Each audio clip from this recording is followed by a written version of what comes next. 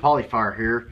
What we're going to do is in the past we had took a Beretta, regular Beretta magazine M9 and converted it to fit the Ruger P95.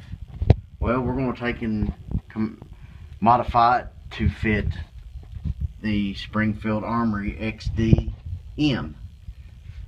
And you can see this mag's already been already done it in the previous video, converted it to the P95. Well, what we're going to do here is show you what to do to convert it where it allowed to work in the Springfield XD-M. First off, need a piece of paper and your Springfield factory magazine. It's just a square piece of paper I cut out, which is almost the length, close to the length of the magazine, folded all the way around. What I'm going to do, I'm going to line this edge here up. It's going to be lined with this front. Line it up good. Then we're going to take our big magic crayon and go over this hole to give us an idea where to mark our hole. You see it's coming right there. I'll try to get it real good so it'll be easier. You can see where it's at and this paper is lined up with the top front of the magazine. We're going to transfer it over to the other magazine. You can see it, that's about where we're going to be making our drill, drills a hole. But first I'm going to cut that out with a blade. See we got this cut out. We're going to set it there and make it lined up and straight. Now we're going to move it over to the other one. One we're going to make and we're going to mark it, which I've already marked this one. This is the only way, this is how I marked it. Simple red marker. Now, we're going to take a file. We're going to drill drill a hole in, but first we need to disassemble the magazine.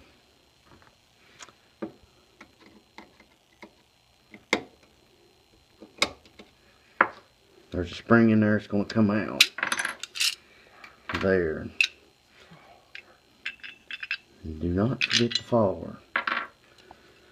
There. Now we're going to take a 5 32 drill bit and drill a hole in the center of that. Then we're going to take a square file and work our way to make it shape it look like that. It looks kind of big there, but once we start filing it, we'll use this as a, a guide to where we need to be at when we file the metal out. And all these guns have been chamber checked. I should have told you that to begin with, but here we go.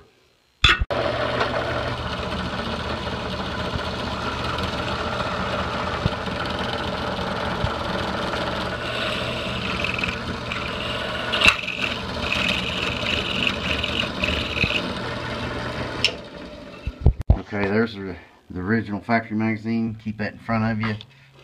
And let's start filing. We're going to shape this hole to look like that. As you see, we've been filing and got it going. And we're pretty close. You need to check it each time you file. Because once you take metal out, it won't come, you can't put it, it's hard to put it back. But you can see it fits in there.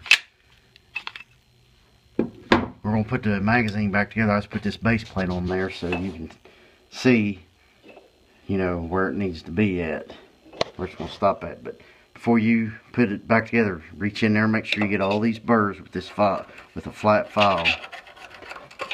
So, let's put this thing back together and put some bullets in it, see if it shoots. Okay, what we're going to do here, we're going to take the Beretta M9 magazine that we converted. That hole there we converted for the P95. And this in here we just got done converting for the XD-M. And what we're going to do, we are going to fire through the Beretta, five rounds, five rounds through the Ruger, five rounds through the XD. But before we get started, this magazine we converted will not hold the slide back on the last round on either the Ruger P95 or the XDM. So let's shoot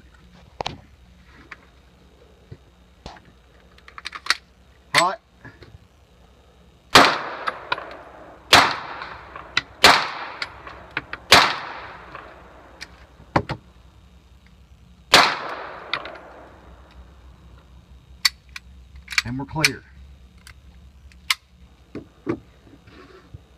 P95.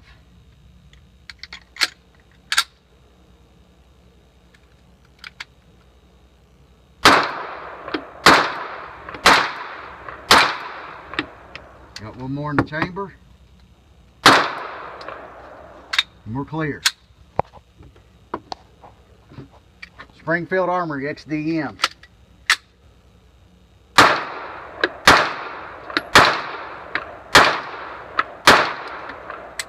And we're clear. One mag, three guns. You know magazines are about 30 or $40 a piece. It's just a quick way if you're on a tight budget. Thank you for watching. God bless. And shoot safe.